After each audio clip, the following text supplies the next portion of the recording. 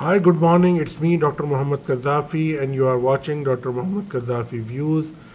I hope you will like it. I am just, I try to present the spinal cord, uh, sorry, spinal epidural abscess, in my opinion, for the elderly age group. It is a very, very common topic, and we should know.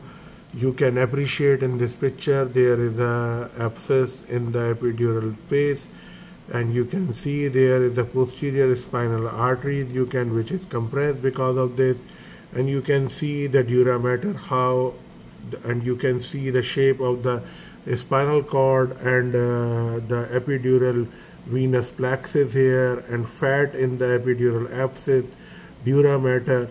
So you can appreciate everything here and i want to present going to present this case with one case of the analogy and then details so uh, I, I, I, just want to present a case for the analogy which is uh, about 75 year old male presented to us with the history of the uh, with the history of the left lower extremity cellulitis and edema blood cultures reveals streptococcus bacteremia and antibiotic are administered administered pre-culture sensitivities and two weeks later the patient again has a complaint of a progressive back pain and the right lower extremity weakness. Past medical history further indicate diabetes mellitus and congestive heart failure. Examination revealed a confused elder with the uh, with the non-specific low back pain and the other positive finding include 2 by 5 uh, um, powers and, uh, in the right lower uh, extremity and the 4 by 5 power in the left lower extremity and uh, diminished uh, we can say the lower extremity sensation reflex and the rectal tone and um, means diminished rectal tone diminished reflexes and the uh, and the gait cannot be assessed. And uh, differential uh, here the differential diagnosis um, uh, seems to because of the infection you can give the provisional diagnosis, maybe some in, infective thing, but epidural, exactly provisional diagnosis cannot be, um, in my humble opinion, but maybe few people know that and they can present like this, but uh, and they have their argument. I can't I can't say, but in my humble opinion, exactly directly going to the because of cellulitis. Yeah, we can understand there is some infectious element, but because of the age, we can say a lot of things. Then I want to tell in the differential diagnosis, which is the herniated lumbar disc, severe stenosis, vertebral artery fracture, oh, sorry, when a vertebral body fracture. Neoplastic may be spinal cord tumor, metastasis, pathological fracture, infectious, maybe the epidural abscess, other epidural hematoma, and transverse myelitis. So uh, here I want to show you one picture, and, uh, uh, and you will appreciate this. Uh, and, um,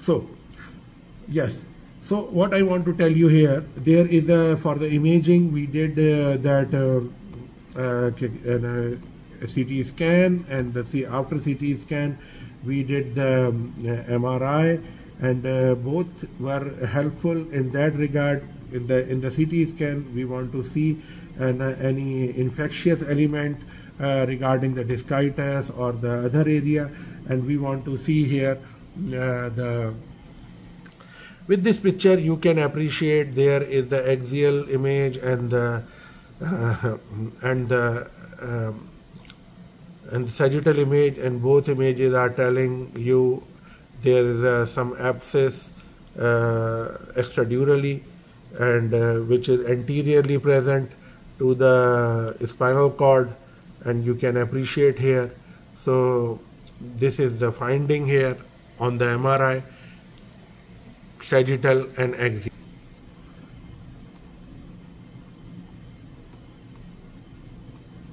Uh, regarding the further workup, we did the CBC, BMP, ESR, CRP, repeat blood culture, and uh, urinary analysis, culture, uh, urinary analysis and urinary culture, type and screening, and the PT, INR, APTT, an MRI of the entire spinal axis and without contrast. Uh, with or without contrast, we did the MRI as I mentioned, CT abdomen and pel pelvis with contrast.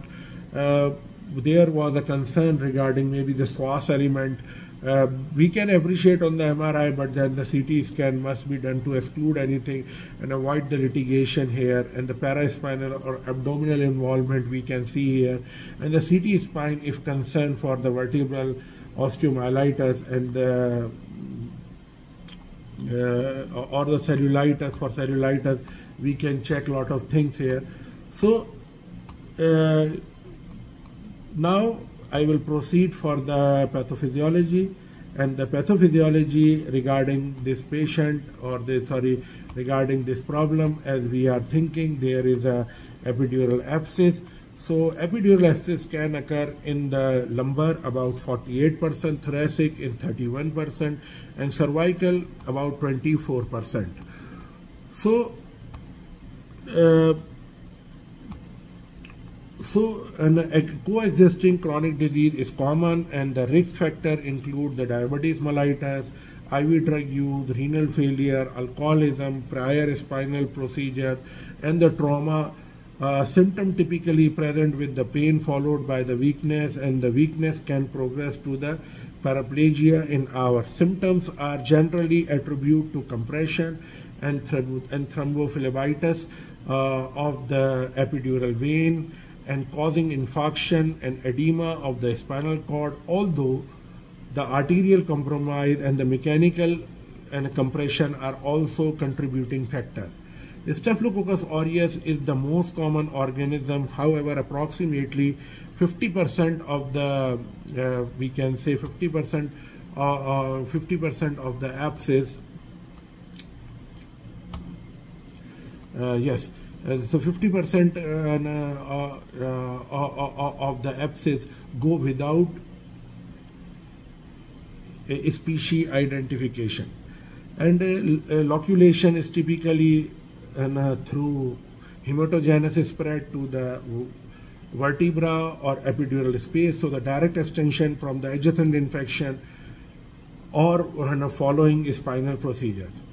Uh, treatment options such as the medical, if you can see there's a antibiotic while some patient may require with appropriate antibiotic therapy and other may progress to the irreversible neurological injury despite appropriate directed antibiotics.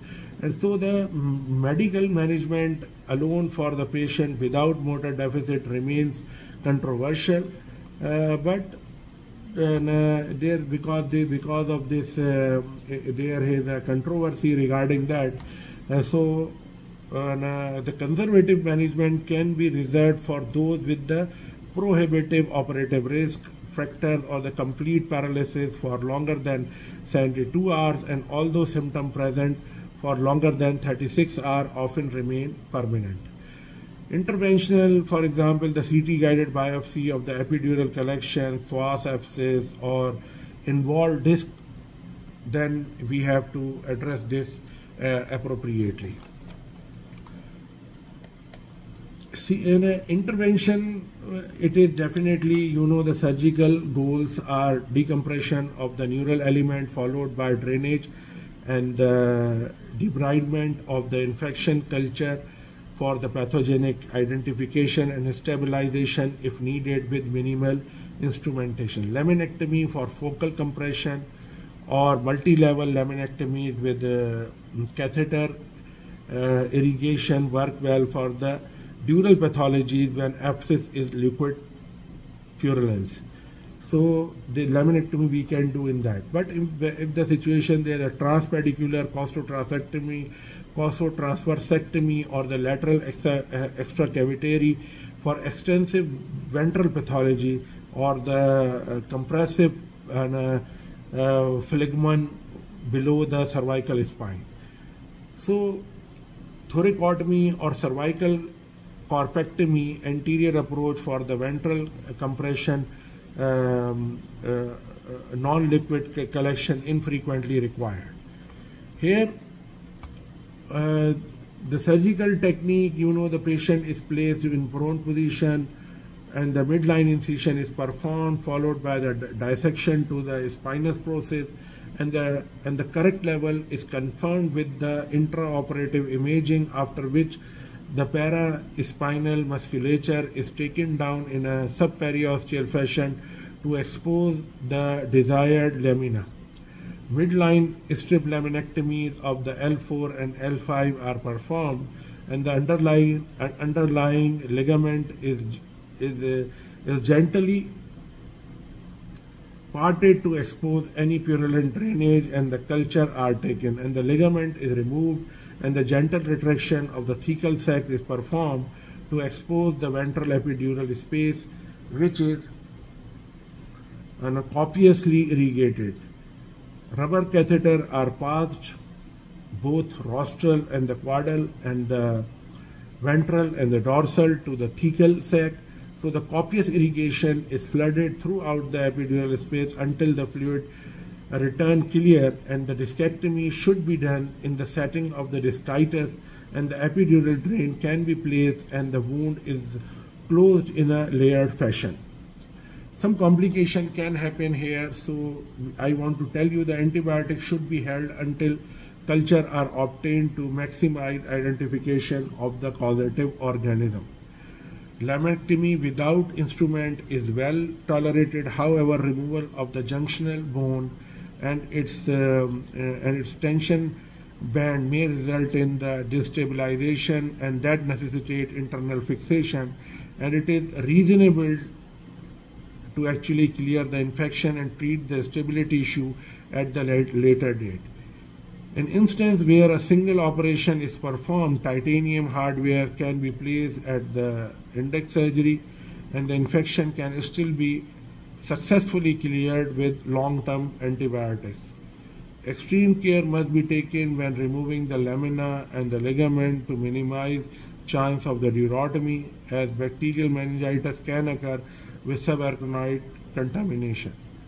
When liquid purulent is found, strip laminectomies can be performed and uh, spare the facet and the minimize destabilization when protracted treatment or failed attempt with the antibiotic or the failed attempt of the antibiotic. So the therapy occur, granular fibrosis may result in necessitating a more aggressive laminectomy and the neuronal manipulation to clear the epidural space of the debris and the extremely extreme care must be taken with blunt instrument to prevent dural tear. This is all about this. As you know, this is a suppurative infection enclosed within the epidural space and the incidence is uh, 12 cases per 10,000 hospitalized. Uh, so the rate is increasing giving the rise number of the spinal procedure. Mortality is low at 5%. However, untreated paralysis may occur and can occur at any age, but most patients are between 50 and 70 year old. So the classified, this pathogenesis is classified is either a primary or secondary. The primary hematogenous is spread from a distant, distant focus due to the epidural space and usually from skin and soft tissue and often located in the posterior dorsal aspect of the spinal cord due to the presence of the infection prone adipose tissue uh, or um, we can say uh, this infection prone adipose tissue possibility. Second, the direct inoculation with the recent spinal procedure, trauma, or the contagious spread from the adjacent discitis and osteomyelitis and typically develop in the anterior and ventral epidural space.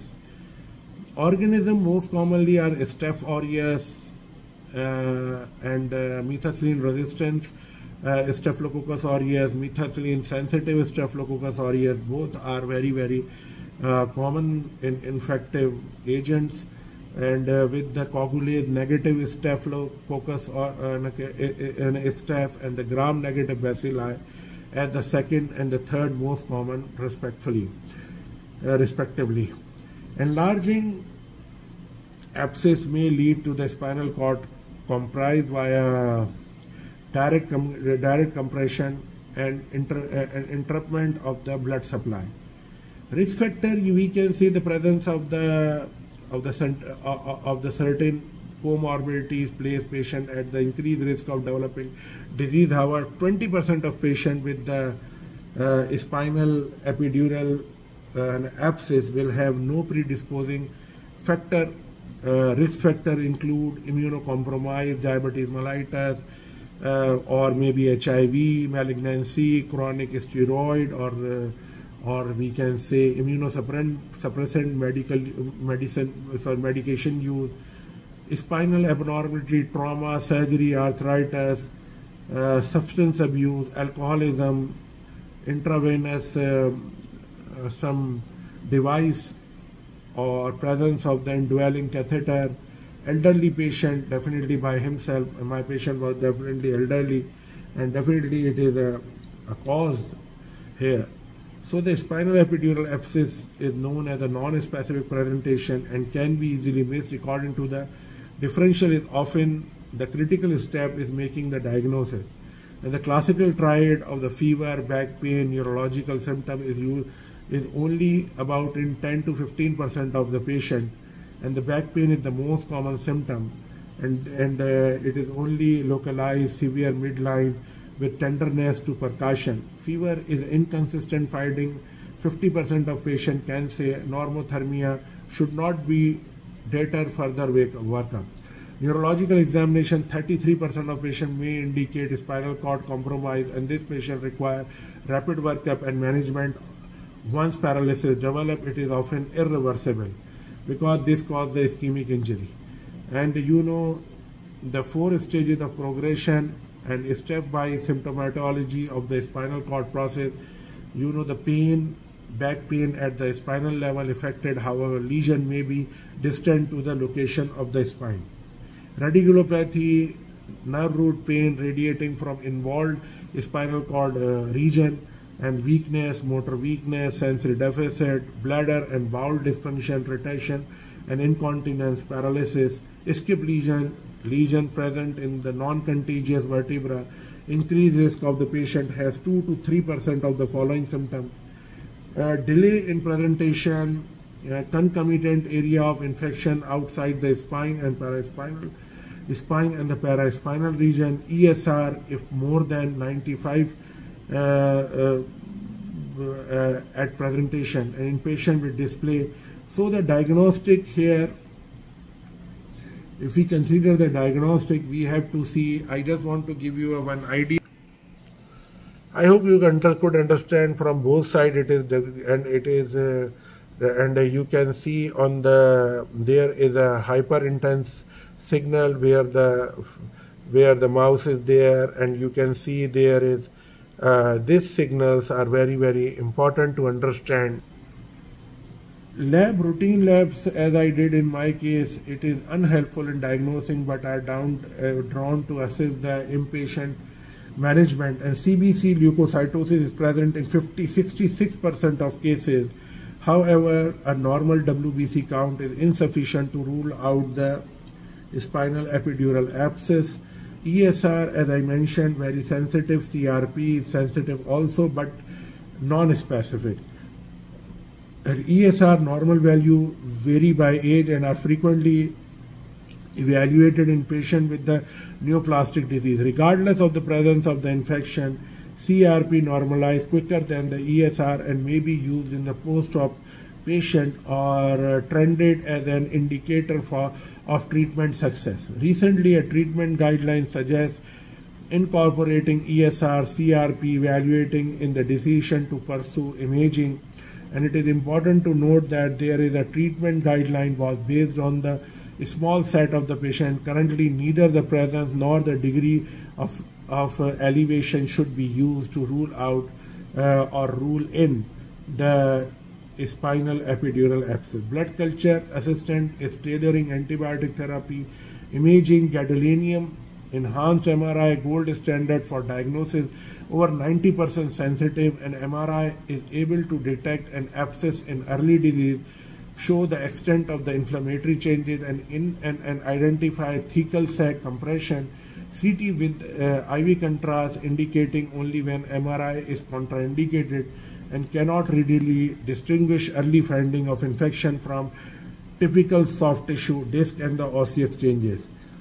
Uh, uh, empiric antibiotic, I want to tell you direct against the staphylococcus and the gram-negative bacilli such as the vancomycin, 30 to 60 milligram per kilogram divided into two daily dose and the third generation cephalosporin such as the cefotaxime 2 gram IV every 6 hourly and the ceftriaxone 2 gram IV every 2 hourly or the ceftazidime uh, uh, ceftazidime uh, 2 gram IV every 8 hourly so these are the options of the antibiotic operative training not all epidural abscess are surgically trained decision is determined by the neurological deficit. Those with the developing neurological deficit are often trained uh, and, a, and a given risk of the rapid development of paralysis. So the patient who have already progressed to the paralysis with low likelihood of improvement uh, are often treated with the antibiotic alone. Presence of the drainable abscess versus uh, phlegmon on imaging, the phlegmon is the granulomatous thick tissue without a significant purulent collection. It is noted as a homogeneously enhanced lesion on the MRI. A liquid abscess is, is displayed as a central hypointense region with the hyperintense peripheral enhancement. So the location giving a small amount of epidural space and thus increased risk of developing neurological sequelae cervical or thoracic epidural abscess are more likely to be surgically drained. Few points I want to tell you here. The spinal epidural abscess may present insidiously and the patient often lack the classic triad of fever, back pain and the neurological symptoms. Empiric antibiotic should cover staphylococcus, include methicillin resistance, streptococcus aureus, and the Staphylococcus aureus and the gram-negative bacilli, this should be uh, empiric antibiotic should cover this thing. And all patients with the clinical suspicion require rapid evaluation with MRI as the diagnostic uh, diagnostic study of choice and uh, although not all patients will go to the operating room and the surgical consult uh, either neurosurgery or orthopedic should be obtained emergently. So this is all uh, this I try to explain you here, but I want to tell you one more thing here, like this. Um, for example, uh, you know that the, the, spinal epidural abscess is an suppurative central nervous system infection involving the space between the spinal dura and the vertebral uh, periosteum. So the classically patient with the spinal epidural abscess present with the midline back pain, fever, neurological deficit, presentation uh, of the disease process can highly variable and the spinal epidural abscess is difficult to diagnose. And if the and, and, and, and, and if the clinical suspicion is not high when uh, left untreated spinal uh, epidural abscess can cause significant morbidity and mortality. So this may be clinical concern for this diagnosis require prompt evaluation and treatment. And, and diagnosis and the, and the managing spinal epidural abscess are largely aided by the advent of the modern radiological techniques include the computerized tomography and MRI scan. As you know, there is the, uh, the patient definitely the bacteria enter the epidural space and um, they cause the infection so the risk factor for the spinal epidural abscess majorly in the immunosuppressed state such as diabetes mellitus, alcoholism, cirrhosis, and end-stage uh, renal disease, HIV infection, intravenous drug abuse, direct instrumentation, acupuncture or paraspinal or epidural injection, uh, lumbar puncture, CNS surgeries, bacteremia, Diabetes mellitus is the most common risk factor associated with the spinal epidural abscess. However, intravenous drug use and epidural catheter placement are becoming increasingly important and frequent risk factor in the development of the disease process. Uh, 12 uh, things I want to tell you here. The mean age for involvement is 57 and the male to female ratio is almost 1.5 is to 1, male little more and intravenous drug abuse is 22%, diabetes 27%, Staphylococcus aureus is 64%, and the most common causative organism, the lumbar spine, um, and 48% is the most common location in the lumbar spine, and the back pain in the 68%, and the weakness in 52%, and 60% of the patient managed, 60% means more patients are treated with surgically. And uh, uh, you know there is a, uh, direct mechanical compression of the abscess and uh, and they cause ischemia, then septic thrombophlebitis, and the inflammatory process mediate this the bacterial toxin. And the hematogenous dissemination, definitely, I mentioned skin abscess, furuncles, and the most common source of infection. And the respiratory tract infection, urinary tract infection, soft tissue, uh, primary nidus from the skin, uh, half of the cases with the primary nidus from the skin and contagious spread in the 10 to 30 percent of vertebral osteomyelitis, psoas abscess is major, major and uh, important reasons. And the direct in inoculation, neurosurgical intervention, lumbar puncture, epidural, uh, uh epidural analgesia, and other invasive procedure is 15 percent of the spinal epidural abscess. Uh, abscess location here anterior secondary to the pyogenic spondylitis or discitis, posterior following hematogenous dissemination, circumferential maybe. And Staphylococcus aureus is seen in almost two-thirds of the cases. As I mentioned, 64%. Staphylococcus aureus is also responsible for many other clinical mimics such as osteomyelitis, discitis, sepsis, endocarditis, and methatrexate resistant Staphylococcus aureus infection is commonly observed among patients with the implantable spinal or vascular devices. So the coagulase negative Staphylococcus aureus such as the epidermidis uh, uh, after the spinal procedure. That's why after spinal procedure we are giving antibiotics and people are telling we can treat it without antibiotic. Yeah, definitely, but definitely fear of the abscess or discitis because different age groups are coming and they have a different habit of the uh, uh, uh, of the of the cleanness we can say a better word I should use here hygiene hygiene should be different person to person and gram negative bacteria particularly and uh, Escherichia Escherichia mm, or we can say coli, E. coli, we can say urinary tract infection, Pseudomonas aeruginosa from the intravenous drug use. Very rare by the anti uh, actinomycosis or the or the nocardiosis, mycobacterium, candida or the aspergillosis or echinococcosis, very rare. And clinical presentation, it is divided into four stages. Stage one is a back pain, fever, and spine tenderness. Stage 2, radicular pain and the nuchal rigidity.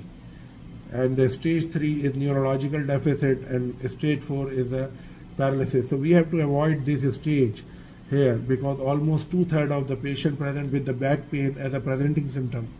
As I told you, 64% patient presenting with the back pain only and pain may be elicited through the palpation or percussion of the spinal process or overlying spinal epidural abscess. So the pain also may be produced through straight leg rising from the compression of the spinal nerve root. As the disease progresses, patient will develop neuro neurological deficit consistent with the spinal cord or cauda equina compression, urinary retention, bowel incontinence, anesthesia, perianal and saddle anesthesia, motor weakness, and paralysis. For spinal epidural abscess, unexplained fever, neurological deficit, active infective pathologies, and the major risk factor diabetes, intravenous drug use, indwelling vascular catheter, recent spinal uh, intervention, or the immunosuppressant stent status or infective pathology otherwise. So the ESR for the evaluation is very much sensitive, more than 30 or, or CRP more than 10 milligram, then it is, uh, and highly sensitive more than 95% it 95% is a very very sensitive for the spinal epidural abscess and the necrotic center being avascular give the um, the characteristic ring enhancing pattern here on the CT scan. And MRI is with the sensitivity of more than 90% so it is help to delineate the extension of the lesion help in magnetic uh, sorry ma management strategy as well as differentiate it from the other differential. CSF analysis only reveal the feature of the parameningeal inflammation swelling increased protein and pleocytosis so the recent advance in the nuclear imaging such as the indium biotin scan which is also which is very we, we can using with the and uh, uh, positron emission tomography and it will tell us a lot of things here. Myelography is no longer recommended nowadays uh, for this type of problems and the CSF culture are positive only in 25% of cases uh, blood culture and the CT guided needle aspiration have a very high yield blood culture, however, yielding a positive result in almost all patients with positive CSF culture. So as I mentioned, there the management, medical management, we discussed already multiple times, and we know the, our major uh, uh, uh here the methicillin resistance.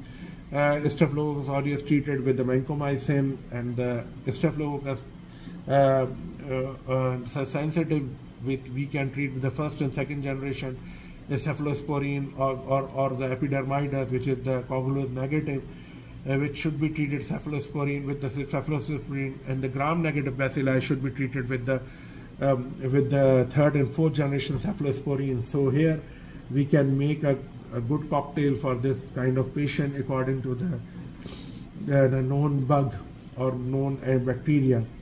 Decompressive laminectomy and debridement combined with the antibiotic is a method of choice and the laminotomy is an option for the children with the uh, spinal epidural abscess and spinal instrumentation to prevent to prevent presumed post-operative instability can be undertaken since they are observed to be safe and free for the major infective complication. Uh, medical management is indicated somehow when there we need, so definitely we cannot deny this but uh, definitely it's important.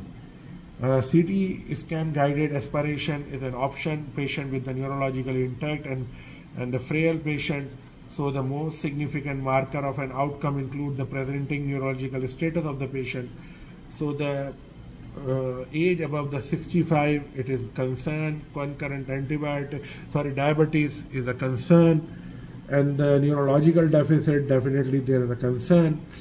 So medical management alone has a high failure rate, more than 40% failure rate, and as I mentioned, 60% patient needed surgery. So should not uh, uh, delay for this and understand this issue, uh, this issue, and with with confidence and with calmness. I hope you will like it. Whatever I told for the.